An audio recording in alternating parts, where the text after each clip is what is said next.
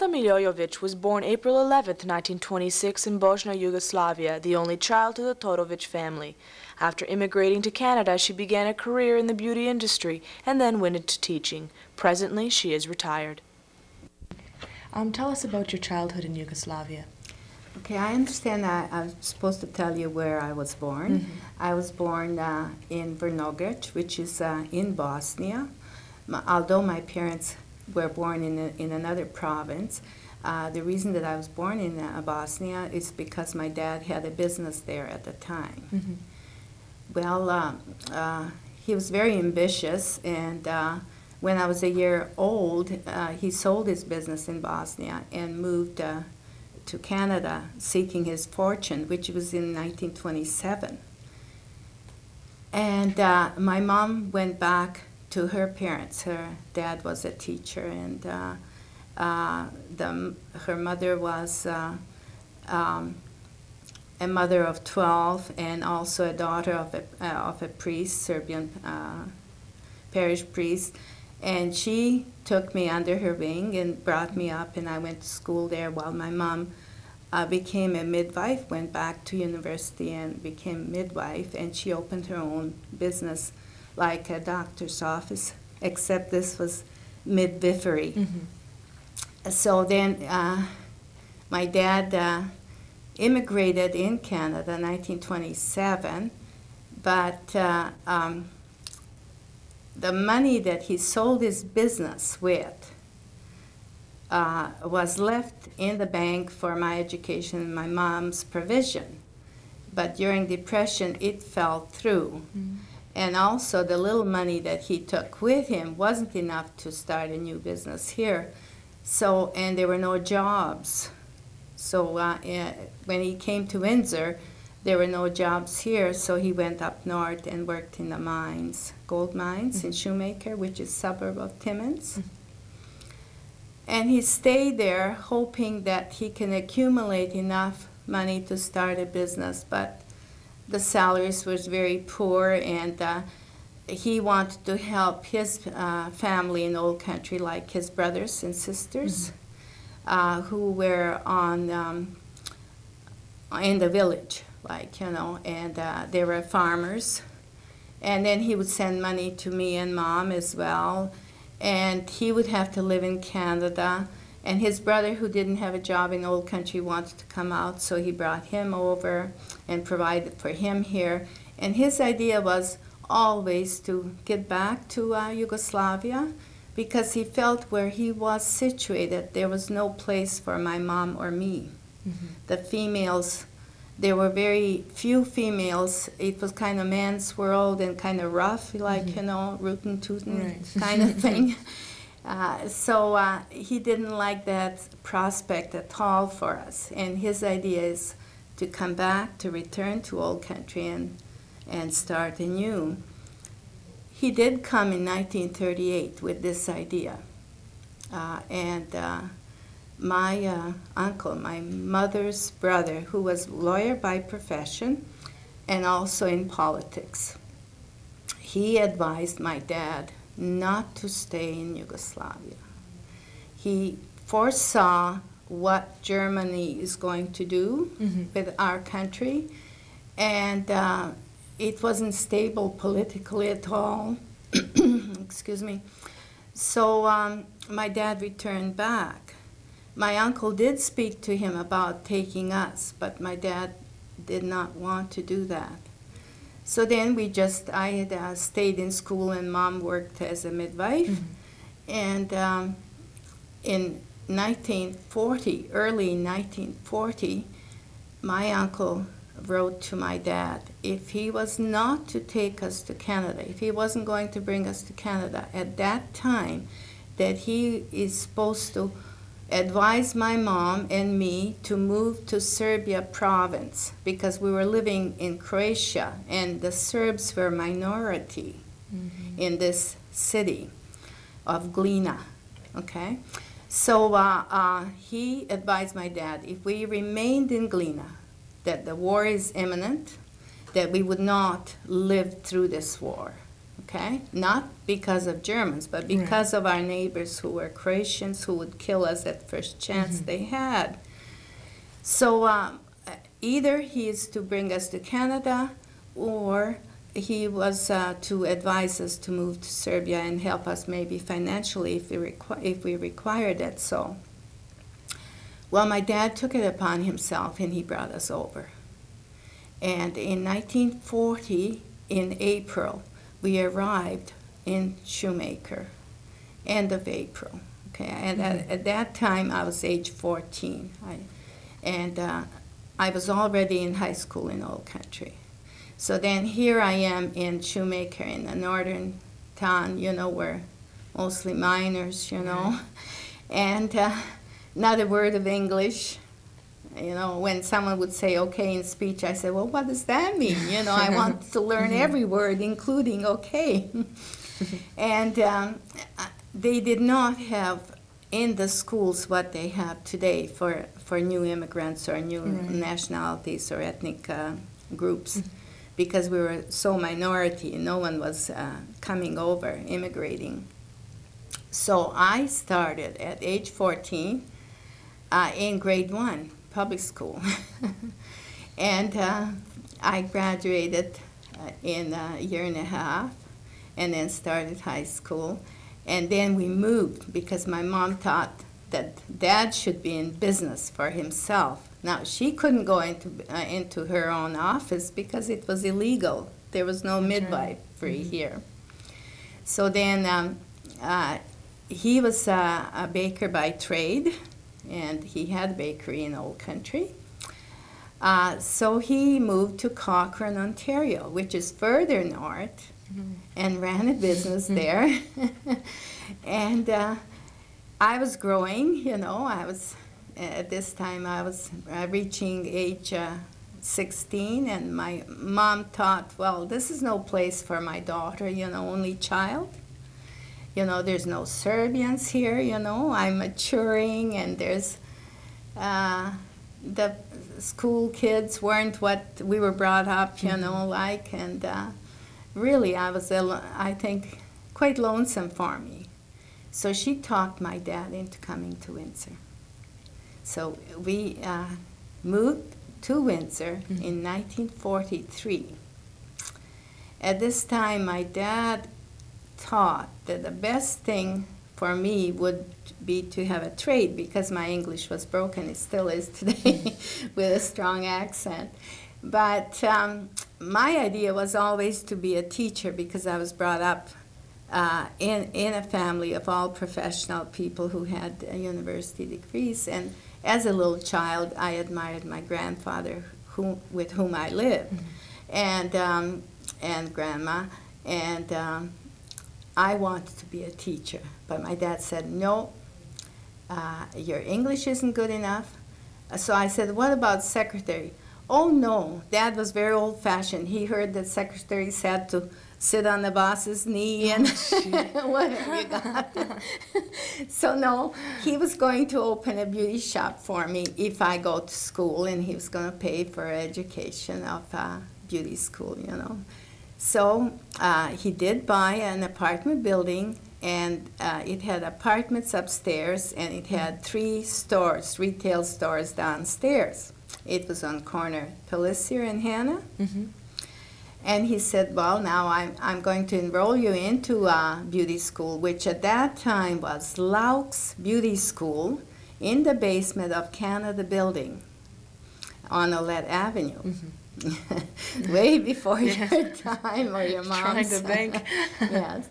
And I was first in the class, and uh, my dad said, Well, uh, that's wonderful. You will have your shop, but I want you to go out and work for at least a year for someone to find out how the businesses are run, you know. So I did work. I worked for Walter's Beauty Salon, which was on University Avenue West. And uh, after a year, my dad did give me the money, and I went out and bought shop equipment. Meanwhile, he had um, um, given notice to the tenant who had, I don't know what business they had, a retail store of some kind, Mm-hmm. to move out, and I became my dad's tenant, so to speak, you know, in this store at uh, 1605 Pelissier Street. And I opened up a beauty salon that was called Lady Fair Beauty Salon. It still is there today after 50 years, or no, 49. Oh my God. And um, it is there, but it's under an, another name. Right. Like uh, I uh, stayed in the business from 1945 to uh, 1952, and um, I was quite successful. I worked very hard, and I had very nice clientele, and I was very pleased. I was very pleased that my dad had made the decision for me, because I really achieved quite a lot and I liked what I have accomplished and achieved, monetary and all this. Uh, I liked, I enjoyed working on people like you know customers, and uh, I had very nice clientele. They were like lawyers' wives, doctors' wives, you know, very wealthy uh, people from Victoria Avenue there, and uh, I'm not going to name the nationalities. but uh, if if one, uh, for instance, one uh, person came into my shop just because they were in a group of a, um, like not a middle class, little upper class Right. people, then the other friend of the, this lady would have to come to my shop because she had to be as good as Oh. as this other person. Which was good for you. Yes, it was really great for me.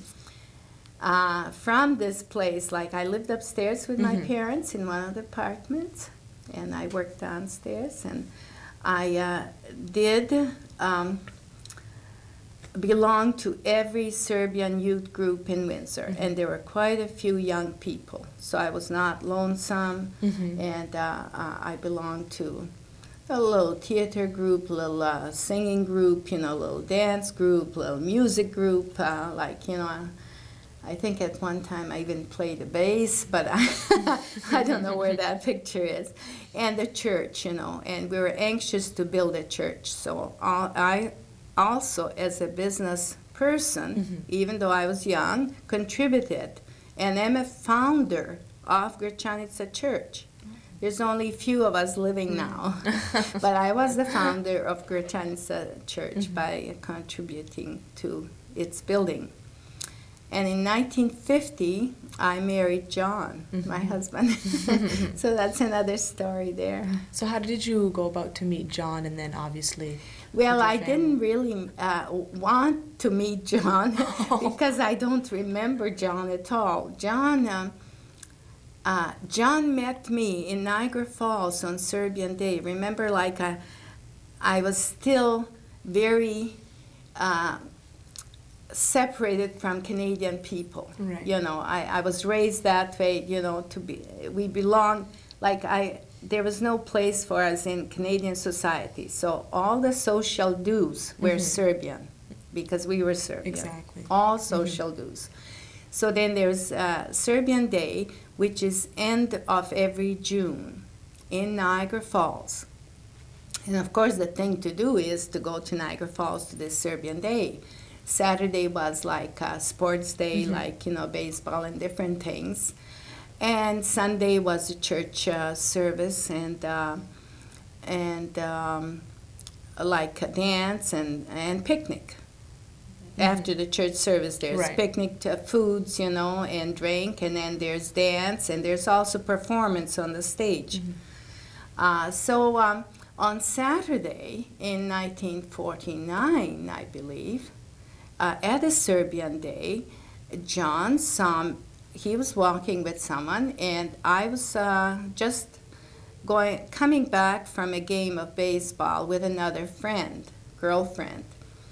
And he approached me, and he said to me, I know you. And I thought, well, he was just trying to, uh, I don't know, make acquaintance or something, you know.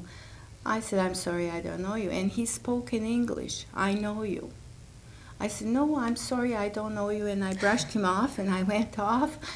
And he was persistent. He came back, he said, yes, you're Nada Todorovich, which is my maiden name, Mm-hmm. and uh, I'm uh, Jovan Milojevic, and I went to school with you in high school. Well, I thought to myself, my mind, excuse me, my mind went back wondering about the school days in Canada, not even thinking, of old country, you oh know. my gosh. So I said, "Oh, I'm sorry. No, definitely not. I don't know you." You know. Well, he's he was so persistent he wouldn't let go. You are, he said, you are Nada Todorovich. I said, yes, I am. Well, I sat behind you in a high school Oh in goodness. Glina, which is the a city I came from, you know. And I thought to myself, well, how do you speak English? You know, when did you come? You know, so then that's how conversation uh, became uh, quite extensive, and uh, I didn't remember him because in high school I was as grown up and mature as I am, you know, in Right. like at your age, Mhm. Like you know, twenty or something, and he he wasn't grown up, you know, and they they had always uh, like uh, not many people educated their girl like their female children. They always educated their male children. So in this classroom, there were more males than females.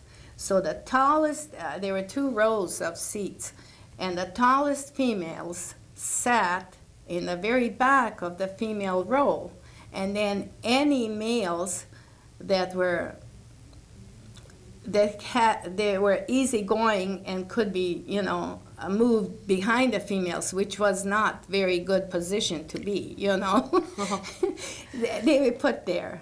He was actually placed there, Mhm. and he sat behind me. But because he was quiet, and because uh, um, he didn't seem to be as mature or grown up as I was. We did not, the girls did not associate with these little fellas behind us. So um, uh, this is the story how I met him. At that time, he was under contract, government contract, Mhm. because the government of Canada brought him as a displaced person from Italy, you know.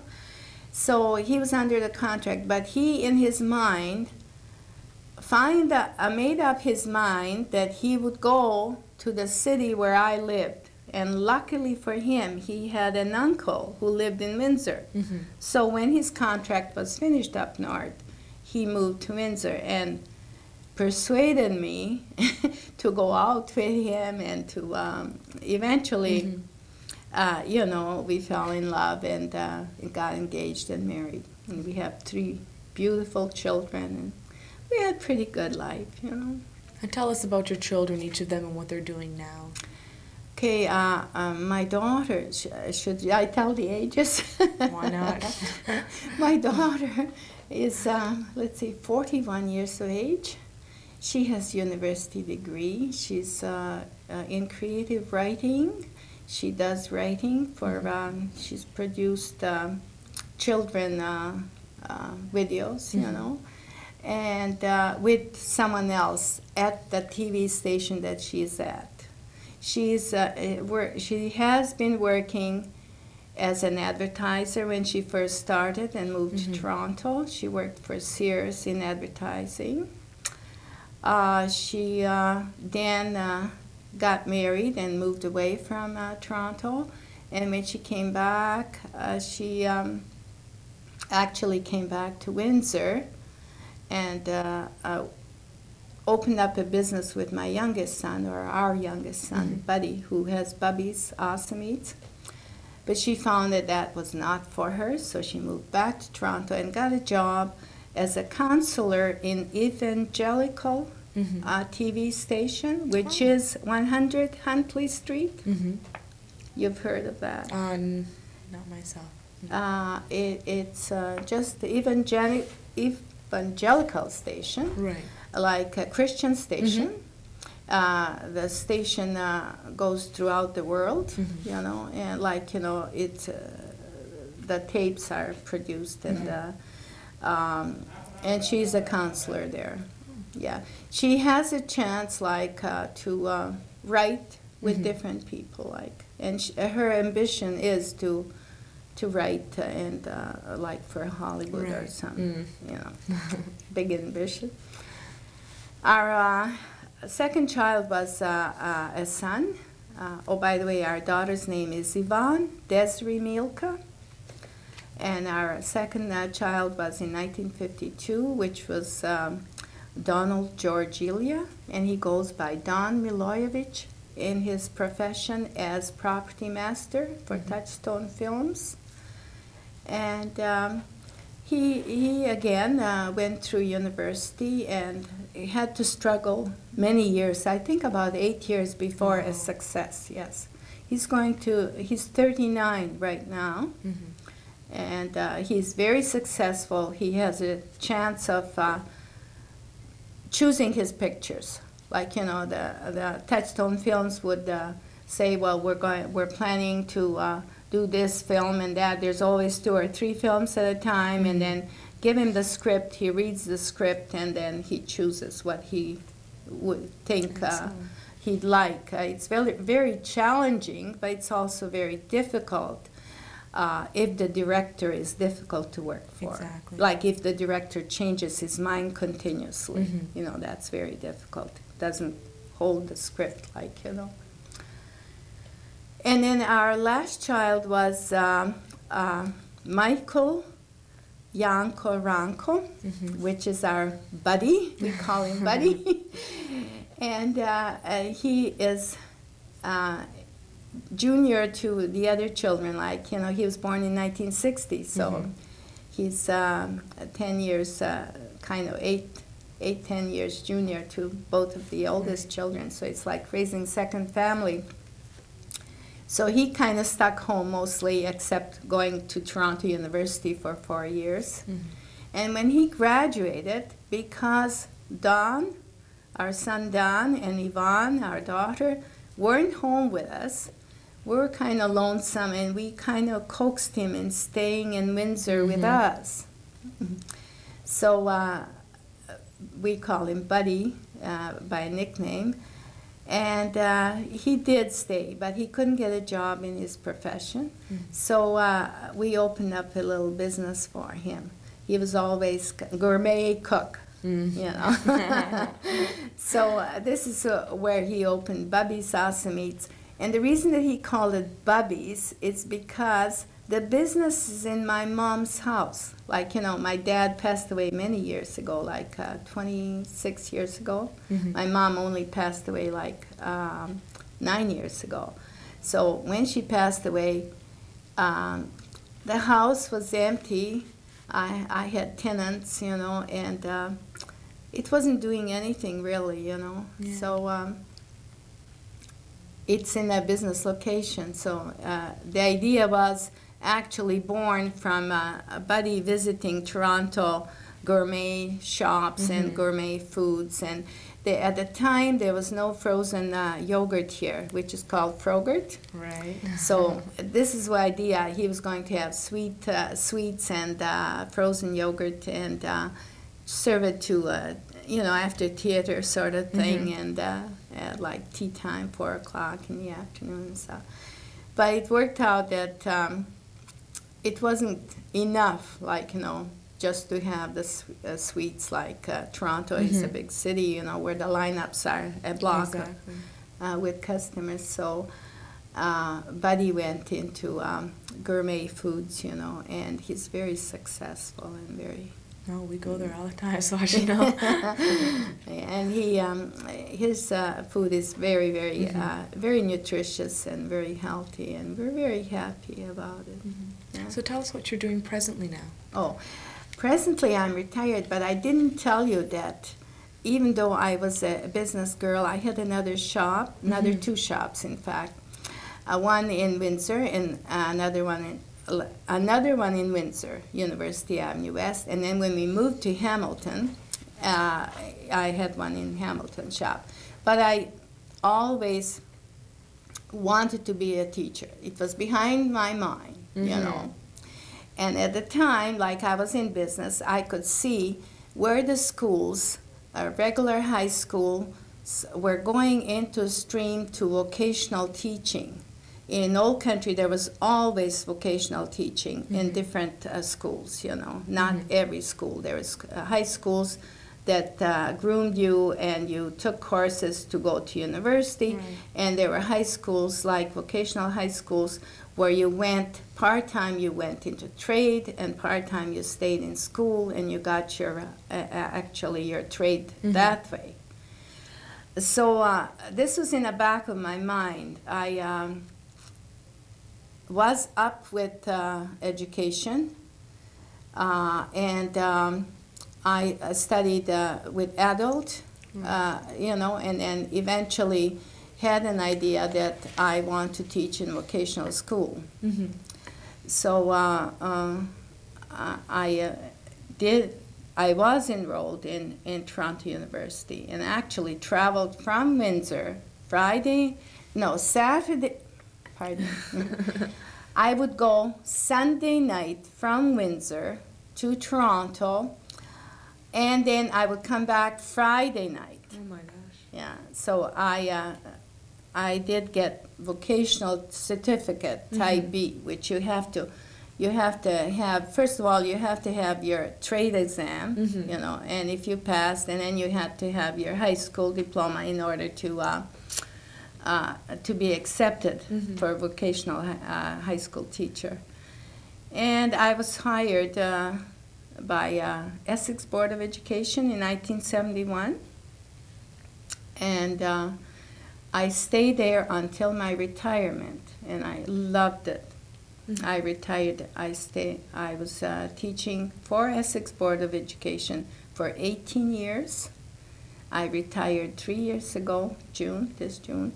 It was in 1989, June. Mm-hmm. And uh, the only reason that I retired was because I felt that I had worked many, many years and John mm-hmm. had retired one year prior to this.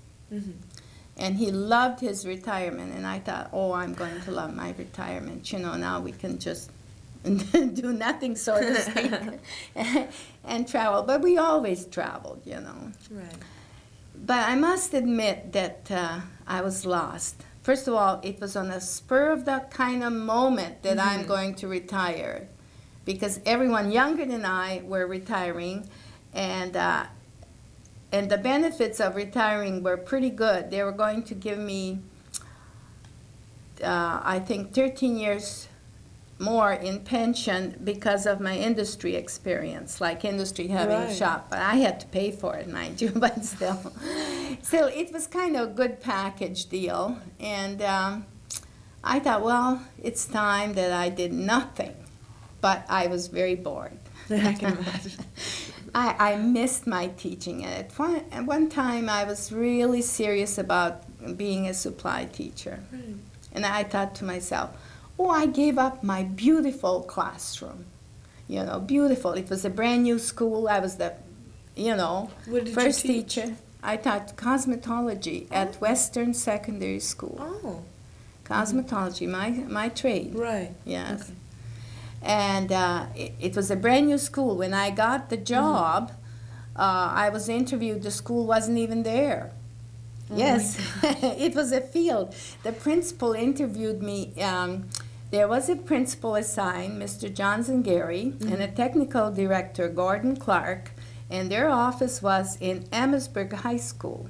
Mm-hmm. And there was an ad in the paper and uh, I applied for it, and they called me for an interview at Amherstburg High School. And then uh, the minute they looked at my resume, they said, the job is yours if you wanted it. And I, I was, I couldn't believe it. I could not believe it. And uh, our priest at the time called me, uh, you're uh, just like Thomas, St. Thomas. Mm-hmm. He didn't believe until he put the fingers in the in the wounds of the Christ. Mm-hmm. So he said, "Don't be like that, Nada." you know, he said, "Don't be like that." Anyway, uh, the principal says, "Well, let me drive you, uh, or you can follow me." Uh, and see the site where the school was, and he showed me the blueprints. And my classroom was the largest, the Ooh. nicest, facing facing south, the windows, you know, just what I dreamed of. So um, I just uh, was so happy, you know. I was very, very fortunate. And he says, Well, I'm going to bring the contract for you to sign at your home, at your convenience. What day would it be okay? So I, I told him, Well, the next day, if you can have it ready, you know. and, and I told John, Oh, that man will never come. Never. I said, Never. And, uh, and he did. Mr. Johns and Gary came to the door at four o'clock the next day and had me sign the contract, and the job was mine. So I really enjoyed teaching. I really, I had to have another course, special ed course, Right. because most of our, you know, vocational type of high school uh, is this kind of special ed Right. classes.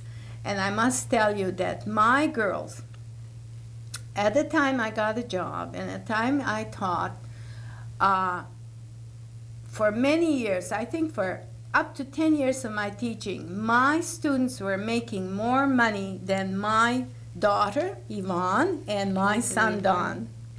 And here they were university graduates. Mm-hmm. And these, mostly girls. I only had few, several boys, but only two that were successful, you know, that I know of, like that, Right. that I know where their shops are and all. But uh, they were mostly girls, and they were very successful. You know, they uh, they had their own business. They or they would uh, be uh, employed right away. Right. They would be managers of shops, like you know, really good shops, like in the, in the mall and all that. So it was very rewarding as a teacher. They loved it, and uh, I loved it, and I really missed it for a long while. But I thought it was my time to retire. And now I feel, oh, if someone tells me, how about doing this? And I said, well, no, I like the feeling. I, I like, I, I just got used to the feeling that I'm free. I can do whatever I want, you know, today. Sometimes it's not a good idea, but, But- yes, I, uh, I'm not tied down to anything. I, I do love, me, I'm involved with the church groups uh, with the heritage group, with the museum if they need me, you know. Um, but my, uh, and I like to help my children, each of them. Uh, the least help uh, required is our son Don. Mhm. He requires very least help. Our daughter does require, like, you know, right now we're getting a home for her because her uh, her TV moved. You know, they have a new t- uh, TV station. Uh, it's built uh, uh, in between Burlington and Hamilton.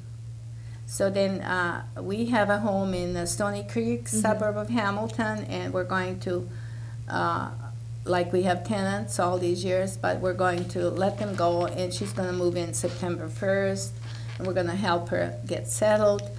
Our uh, son uh, Buddy, who owns Bubby Salsa he always needs, especially dad, you know, but he does need help, so we Oh, help him. But Don being away, you know, in California, uh, we did help him when he was in Toronto, but uh, he really doesn't need much help. But he he will get some financial help. He's going to buy a house uh, Mhm. in between Beverly Hills and Hollywood, Oh, so my. he's going to get that. So it's always that, and then I always liked art. I liked um, jewelry, and I'm Mhm. enrolled in silversmithing and also lapidary work, which I'm enjoying very much. and um, the other lady said uh, for me to bring some things I've done. I have a whole Right. lot of things that I've done this year, including this bracelet, Beautiful. solid silver. Oh, my goodness. you know, and rings and different jewelry. You know, and um, I'm going to do different things. I Thank See, now you're not bored anymore. no, I think I would like to take painting as mm -hmm. well. I did some sculpturing, you know. And, mm-hmm.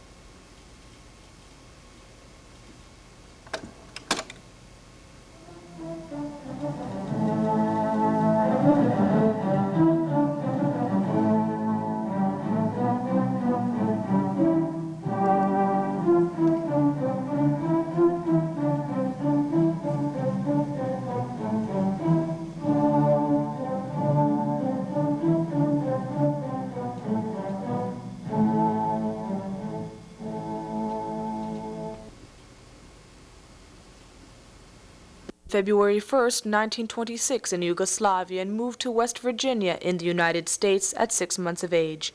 He has one brother, Eli, and two sisters, Mary and Ann. Currently, he is retired from teaching. Okay, John, tell us a bit about your early childhood in Yugoslavia. Well, I was born 1926 in Yugoslavia, uh, actually on the honeymoon of my parents, who came from the States. Uh, my father came to Yugoslavia to visit his mother as well as to uh, uh go on his honeymoon. Mm-hmm. Uh, while he was there for over a year visiting his mother, I was born on the 1st of February 1926 in a small village called Čemernica. It was six months later that my father and mother brought me back to the United States to a place called Weirton, West Virginia, where my father had a store. I uh, went to school to work in West Virginia till the age of 8 mm-hmm. At the same time, my father, who owned a grocery store, like many Europeans, uh, at the time they had the prohibition in the United States, uh, used the time mm-hmm. to make money, and of course, to make money was to make booze. uh, this was kind of his downfall. The federal authorities uh, found out about what was going on and uh, forced him to leave the United States uh, back to the old country as he was not an American citizen. My mother uh, and four of us, I had a brother and two sisters. One that was born 1920, brother was actually born 1927, sister was born 1928, and another sister was born in 1930. Mm-hmm. Uh, my father wanted us all to go back to the old country, but uh, my mom who saw what uh, life was like in Yugoslavia in a small village, didn't have any will whatsoever to return back. She kept us till 1934. My father went back in 1932. And in 1934 decided that uh, she could not, uh, with uh, things the way they were, the depression and all that, that she could not cope with four children. She sent my brother and myself back to my father to Yugoslavia. 1934, we arrived uh, in Yugoslavia. Uh, we both, at the time, could not speak any Serbian, uh, so that uh, there was a problem actually of trying to place us in a regular school uh, system. My father, being as he was uh, with money from the prohibition, sent us to Zagreb to a private school for, I think it was about six months that we went there. And within the six months, uh, we were able to obtain a knowledge of Serbian to a point where we could get along with the mm-hmm. regular students in the classroom. And mm-hmm. came back to the village into a regular class. I uh, finished uh, elementary school in uh, the village of Čemernica and uh, proceeded to go to a place called Glina, which was 18 kilometers away from the village in which we lived. The elementary school ended at grade four. Uh, anything above that uh, was uh, a privilege, actually, of those that had money because it wasn't uh, um, something that was compulsory. Mm-hmm. Once you finished your grade four, you were out of school. Those, of course, that had the means uh, would send their children on to what they called uh, gymnasium. And I started the first year of gymnasia, which would be equivalent actually to grade five uh, in our educational system here. I uh, roomed and boarded in a place in Glina with a Croatian family who later on was to prove to be uh, a kind of a friend in need. Mm-hmm. I, the war caught me in Glina in 1941 as the Germans overran the country and the state of Croatia was proclaimed. I was with the family still in Glina when the Croatian Nazis or fascists at the time called Ustasha came into the school, all the children that were of Serbian descent and Jewish descent were picked up and taken into a concentration camp uh, in the local area, well, actually to be shipped to a concentration camp. The people that I lived with uh, had a daughter who was at the time very politically involved with the Croatian movement. On her behalf, uh, we were taken out of, actually, um, uh, my brother and myself both, were taken out of uh, the surroundings that they had placed us in, which was a local jail really at the time. And her father, who was a supervisor on the railroad, took us to safety back to the village where I was born. This kind of ended uh, my schooling uh, in 1941 to the point where uh, we were harassed by, of course, the Croatian Ustashi.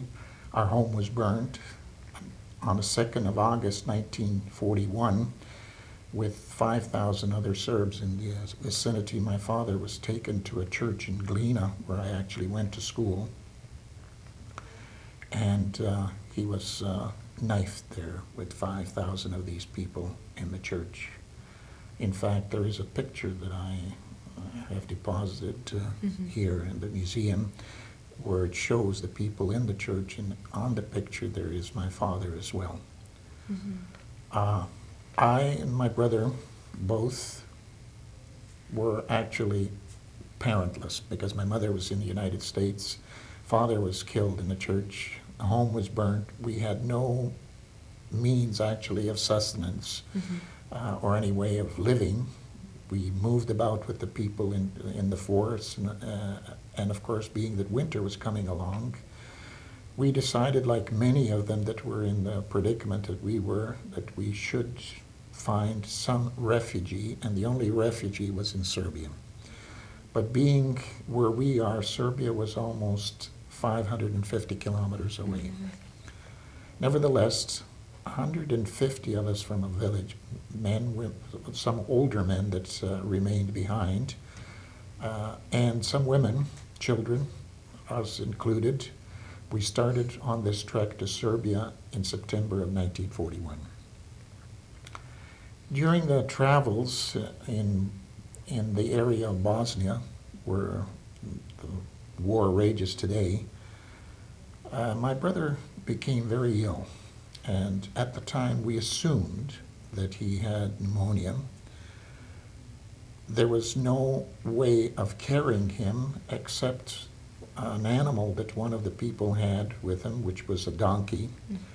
We tied him onto the donkey, and it was, as I said, the only way that we could transport a person. During the night, the Croatian uh, forces got hold of this uh, group of people that were passing through and attacked us. During the attack, this donkey that I was leading spooked and took off with my brother. I never saw my brother for the rest of the war. Proceeded on to uh, Serbia. Uh, actually prior to going to Serbia, I uh, did get wind, of course, writing with, uh, with letters to my mom and so on till about the beginning of the war, that she did remarry. Mm-hmm. And uh, the brother of the husband that she had married uh, was living in a place, Shabac, in Serbia. And some of his people were also living in the village from which I came.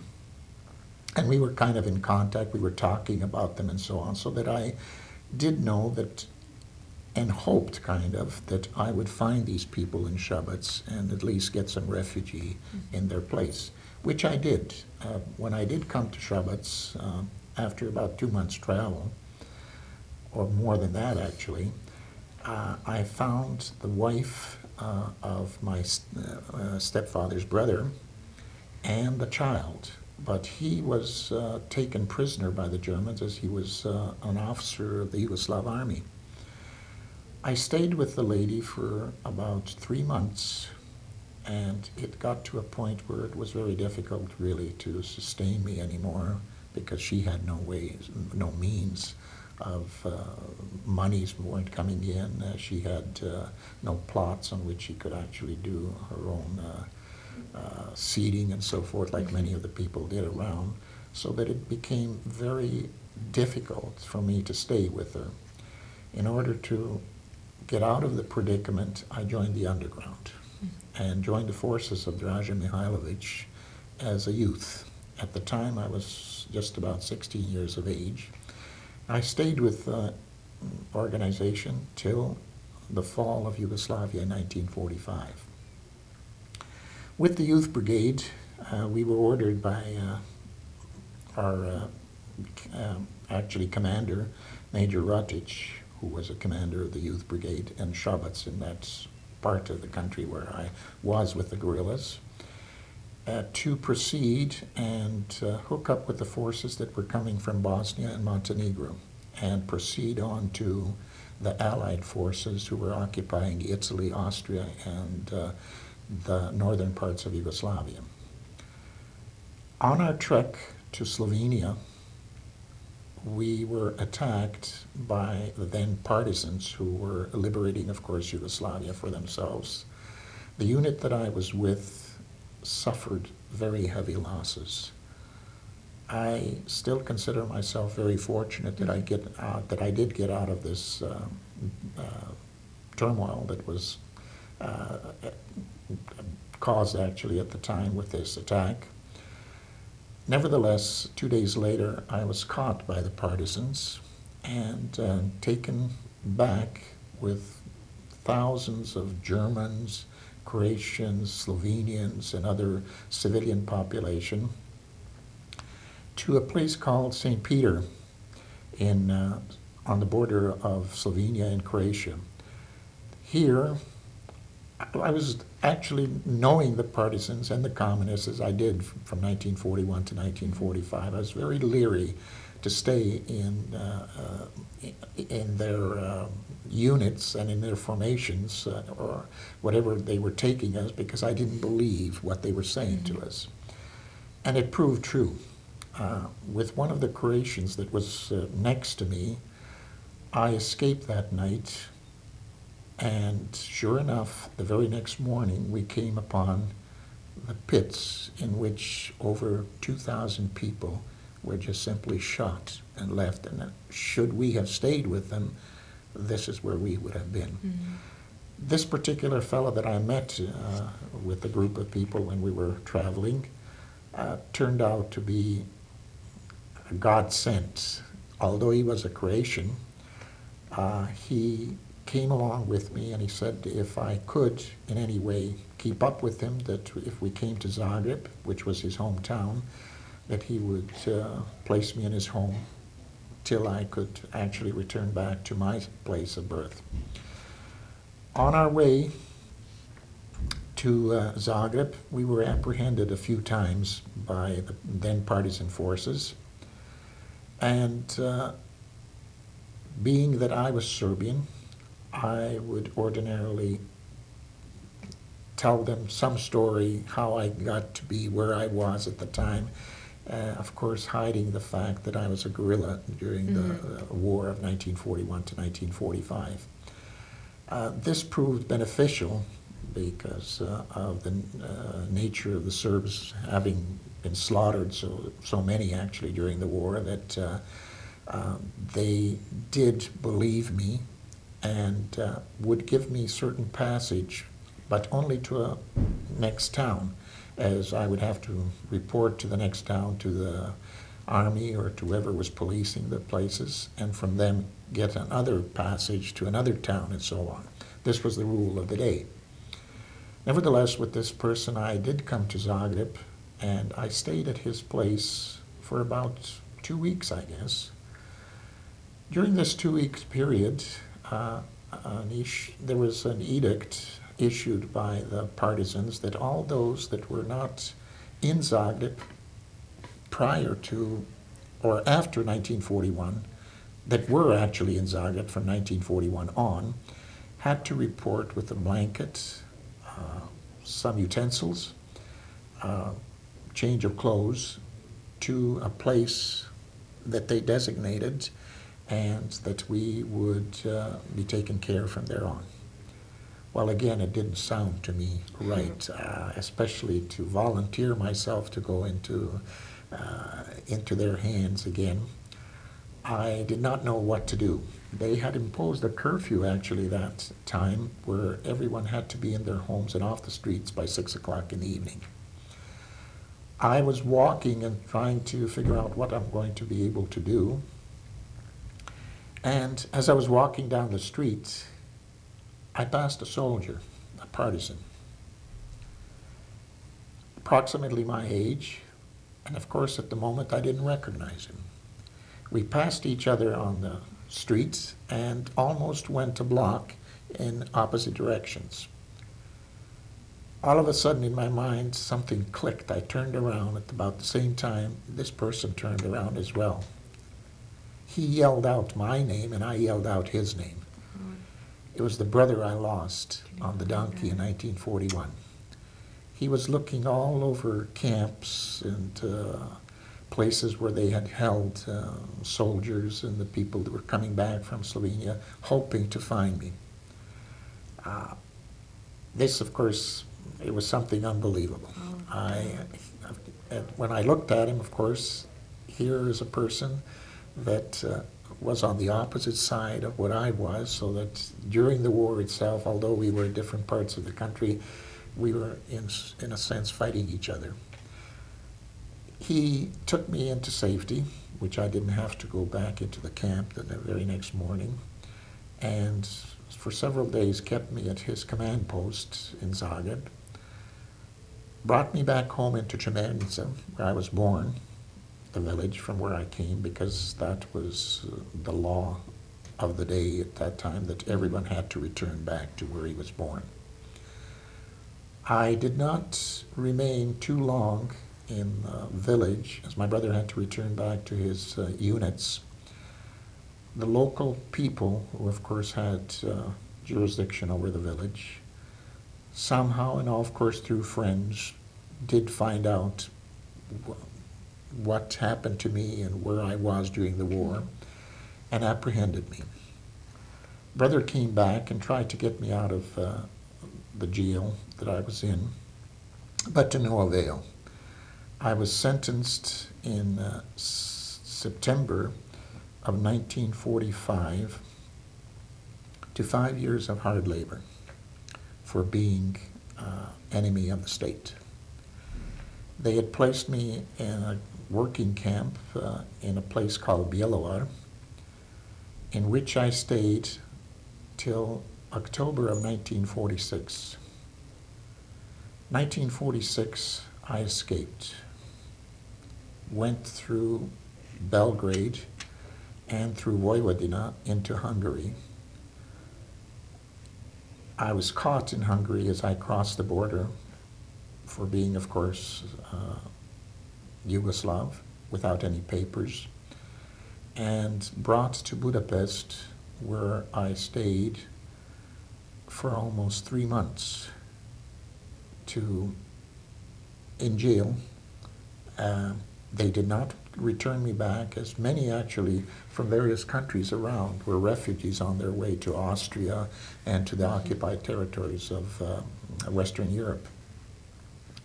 To my amazement, too, they did not return me to Yugoslavia, although they did have very good ties with Yugoslavia. Uh, they did bring me to the Austrian border. Uh, I believe in December the 19th or thereabouts, uh, I was brought to the border and uh, let loose. I was simply told, there's the border. You're to cross the border. Should you at any time be returned back, uh, you will be going through the same thing that you did as you came into Hungary when you crossed from Yugoslavia.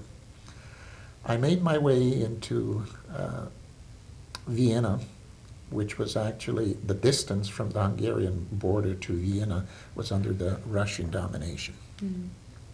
With the help of workers and the local people on the train that took in workers to that were going into uh, Vienna to their jobs, I was helped and brought into Vienna, where I reported to uh, the English sector of the uh, Viennese occupation forces, who took me into the American consul and placed me in a displaced person camp for uh, uh, people that were that had someone actually in the United States, which I did tell them at the time. I had a mother in the mm-hmm. States, and of course I did not know what her address at the present is, uh, nor do I know uh, whether she still is living. Uh, but at the time that the war started, that's where she was and was living. They did send a radiogram, and uh, within 24 hours, they contacted my mother. I stayed in the camp uh, in Vienna for approximately a year and a half, uh, as we could not as many commissions as used to come from uh, countries like South America, Canada, United States, and so on, to take the displaced people out of the camps and bring them back, let's say, to Canada uh, as the refugees were mm-hmm. being taken in at the time. We could not leave Vienna because it was in the center of the Russian zone. In other words, to get out, we had to go to the airport, which was also under the control of the Russians, or if you went by train, you had to go through the Russian zone. And of course, the Russians did not recognize displaced person uh, papers or uh, anything of that nature. So what I did, I made my way into Linz, Austria, mm-hmm. which was in the American zone. And this was strictly on the black, as we called it. Nevertheless, I did get safely into Linz, uh, reported into a displaced person camp, uh, and uh, in March of 1948, I was chosen by the Canadian Commission of the Hydroelectric Power Commission uh, to work for them and be brought to Canada. So that on the 1st mm-hmm. of April of 1948, I arrived at Halifax, Nova Scotia. I was under contract uh, with the Hydroelectric Power Commission to work for them for one year. And during that period of time, uh, I was not to leave the place of employment as I could not uh, receive any documents. Once my contract was over, I was allowed to leave anywhere I wanted to, and I would receive uh, the proper documents that would identify who I was. And that would as well uh, terminate the contract that I had with the Ontario Hydroelectric Power Commission. 1948, while working for the Hydro, uh, in June of 1948, I had heard from my uncle who lived in Windsor at, at the time, had a business uh, in a hotel, that they had a day in uh, Niagara Falls where all the Serbs were gathering. I, of course, got in touch with my mother who was in the United States because I couldn't travel to the United States. I had no documentation. But she could come to Niagara Falls, and that way I would be able to see her, see my sisters, and see the family, which she did. I first time saw my mother on uh, the 28th of June of 1948 mm-hmm. since 1934, as well as my sisters. But at the same time, while we were at the picnic, I happened to see a person who I went to school with, a young girl in her 20s, which I told the people, I says, the lady that I see there, I says, went with me to school and went in the same uh, grade that I was uh, in when we were in Glina. She says, impossible, because uh, she had come previously to that. I says, nevertheless, I says, I do know her name. Her name is Nada, and her last name is Todorovic. I approached her, and I knew English, which she never did realize at the time that we went to school together that I was ever in the United States and that uh, uh, my knowledge was of the English language. Uh, I spoke to her in English and I says, uh, I don't know whether you recognize me or not, but I do know who you are.